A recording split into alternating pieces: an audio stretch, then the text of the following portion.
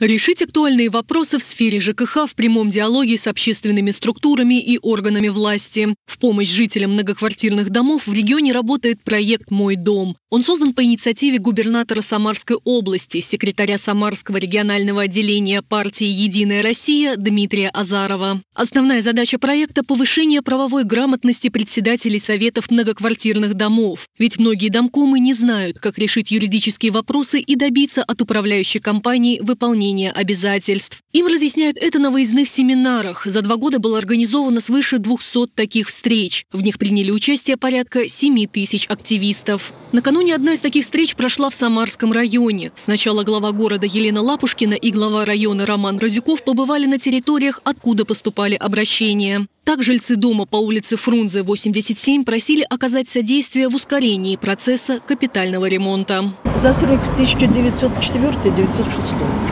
Нам прям так нужна ваша помощь, да, чтобы вы продвинули нам быстрее, чтобы ускорили ремонт.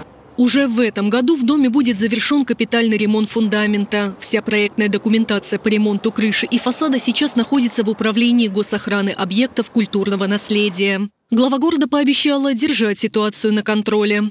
Также в Самарском районе начал действовать ресурсный центр. Он находится на улице Некрасовской, 62. Здесь будет вестись работа по приему жителей и консультирование инспекторов ГЖИ. Написать обращение, узнать о капитальном ремонте своего дома тоже, что является немаловажным.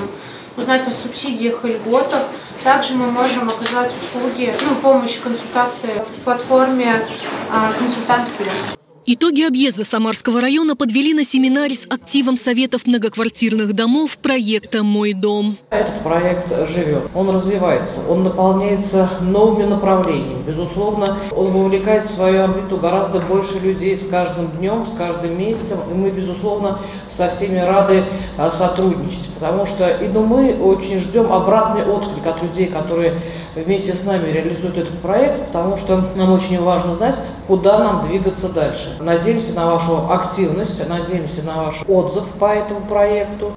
Одним из главных направлений проекта «Мой дом» стало консультирование и обучение актива домов экономическим и правовым основам жилищно-коммунальных отношений, формированию правильных договорных отношений с УК и другими поставщиками услуг. Практика реализации регионального партийного проекта признана успешной. Теперь «Мой дом» идет дальше. В скором времени проект будут реализовывать во всем Приволжском федеральном округе.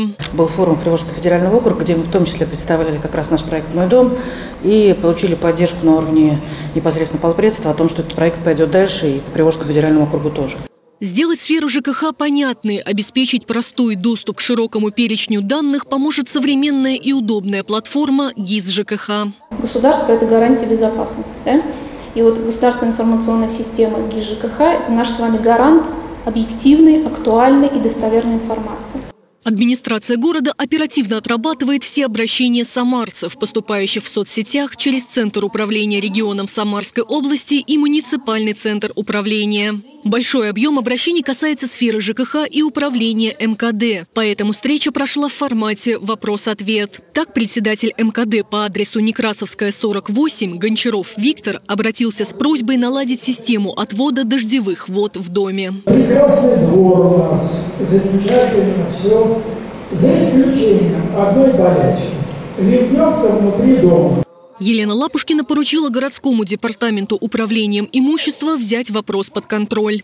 В большинстве случаев вопросы касались капитального ремонта домов, находящихся в историческом центре города. Также на встрече поднимались темы стоянки автомобилей на двух сторонах проезжей части по улице Венцика, обновление лавочек на Ленинградской, озеленение территорий. На семинаре присутствовали руководители профильных департаментов, администрации города и представители ресурсоснабжающих и обслуживающих организаций, члены депутатского корпуса, которым жители района смогли задавать вопросы в индивидуальном порядке после окончания встречи. Все вопросы в адрес городской администрации взяты в работу управлением по работе с обращениями граждан. Ольга Волкова, Константин Головин, Василий Колдашов. События.